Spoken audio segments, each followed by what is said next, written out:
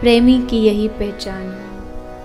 नैनों में, आँखों में श्री ठाकुर जी बसे होंगे। और जैसे कोई पीला चश्मा पहन ले तो उसको चारों तरफ़ सब कुछ पीला ही पीला नज़र आएगा।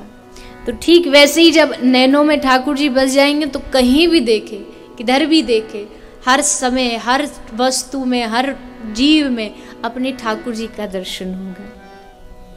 तो भक्त की पहचान, रूप भरे घूमत रहे तन को तनिक न भान।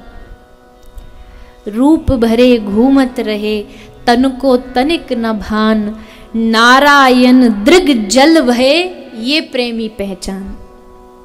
ये प्रेमी की पहचान है। प्रेम में बावरापन चढ़ता है और फिर विरह ऐसा सताता है कि हर क्षण, हर पल वो तड़पड़ाता ही नज़र आएगा। जैसे मछली बिन जल के तरसती है, वैसे ही।